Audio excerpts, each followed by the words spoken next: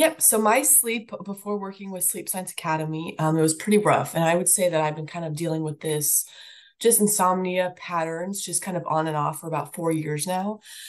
And so before I joined, it was about just a month where it was just really rough. It was just, you know, I was sleeping, you know, maybe three nights a week, and the other, you know, four were really, you know, not good. So it was pretty rough. And so I was kind of desperate looking for something else for help. So that's kind of what my sleep was like before. So um, what did I try? Um, I tried a lot of things before working with Sleep Academy. Um, I definitely did do a few sleep medications. I mean, I tried um melatonin, I eye mask, earplugs. I mean, I would say I kind of tried the whole nine. I didn't try like a sleep study yet. I would say that that was kind of the most extreme thing I think I could do.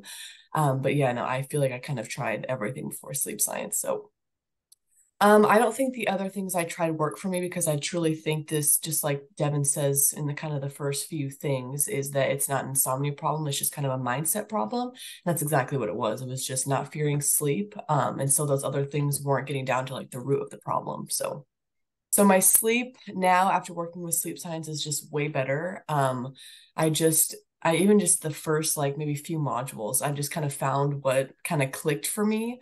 Um, and so it's just, you know, way different. And I just know I'm at a place where I might slip, but I know that I'm not going to have what I used to have because my mindset is just different towards sleep. So, I mean, it completely honestly changed my sleep. So, um, improving my sleep has improved my life just in so many different aspects. Um, it's nice just to feel more energized during the day and not have to worry about it at night.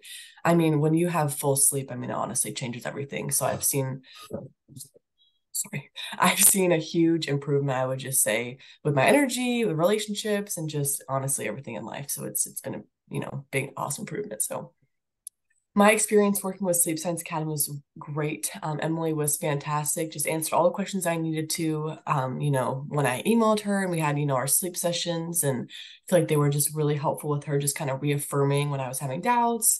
Um, so i mean it was just a really great experience I would say this program is designed for people who, um, I mean, honestly, anybody who has a little bit of insomnia. I mean, I just think that there are extremes to it, but I think the insomnia is just, I don't know, I would say it's kind of the same across the board, just like mindset wise. Um, so I would say maybe people who have tried everything else, this is great for, but maybe just people who are, you know, struggling in general. So I would tell someone who's just starting out on their journey just to keep with it. And I know that in my journey, there were a few times where I was like kind of doubting. I was like, is this really working? You know, is this going to really fix, you know, just kind of what's going on and just kind of go into it with an open mind and just kind of forget everything you've tried in the past and just keep with it and just, you know, have faith and just be just open to everything. So, and it's going to be okay, I promise.